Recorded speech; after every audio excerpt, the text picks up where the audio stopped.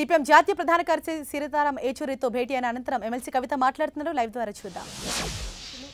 మహిళల బిల్లు రావాల్సినటువంటి ఆవశ్యకత ఏంటి అనేటటువంటి అంశాలు కూడా వారితో చర్చించడం జరిగింది.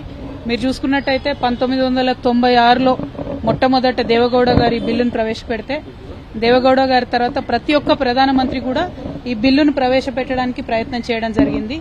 ఒక్క నరేంద్ర మోదీ గారు భారతీయ జనతా పార్టీ వచ్చిన తర్వాతనే మాత్రమే ఒక్క సంవత్సరం కూడా కనీసం ఈ బిల్లు డ్రాఫ్ట్ చేయడానికి కానీ ఈ బిల్లు మీద ఆలోచన చేయడానికి కానీ అన్ని పక్షాలను పిలవడం కానీ ఎటువంటి ప్రయత్నం కూడా జరగంది కేవలం ఈ ప్రభుత్వంలోనే.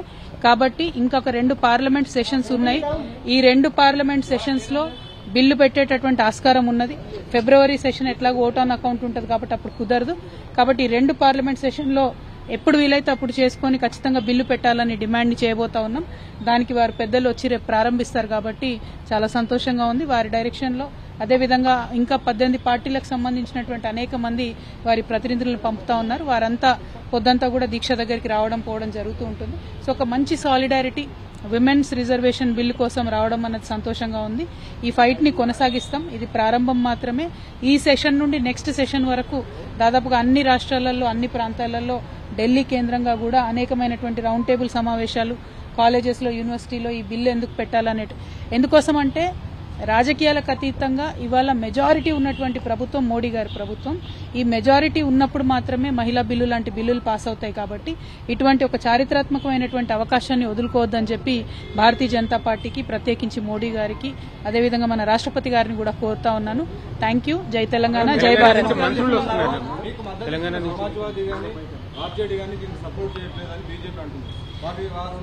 భారతీ ఎవరైతే సమాజ్వాదీ పార్టీ ఉన్నారో వారిని వారిని మేము ఇప్పుడు రిక్వెస్ట్ చేసినప్పుడు వారు చెప్పింది ఏంటంటే మేము ఎప్పుడైతే ఇంట్రొడ్యూస్ చేసినప్పుడు అపోజ్ చేశామో ఆ తర్వాత సబ్సిక్వెంట్గా మా ప్లీనరీలో పెట్టుకొని మార్చుకోవడం జరిగింది.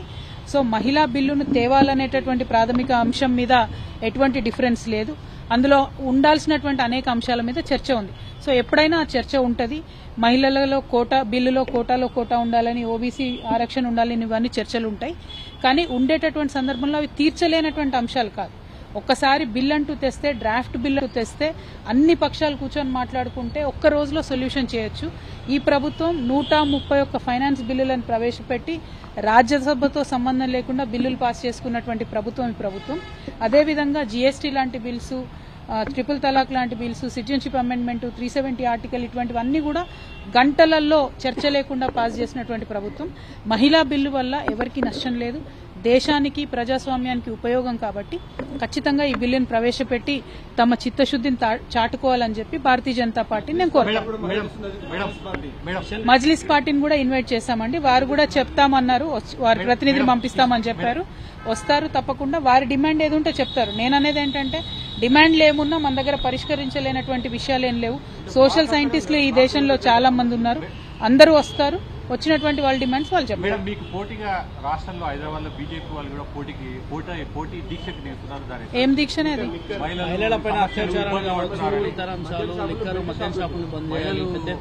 అట్లంటే అట్లంటే నా దీక్ష సక్సెస్ అయినట్టే కదనే. నేను మహిళా బిల్ అనగానే వాళ్ళకి మహిళలు గుర్తొచ్చిందంటే చాలా సంతోషం. అట్లానే వాళ్ళకి ప్రతినిత్యం గుర్తుకు రావాలి. మహిళా బిల్లు పాస్ అయ్యేంత వరకు కూడా మా బండి సంజయ్ అన్న గారైనా కిషన్ రెడ్డి గారైనా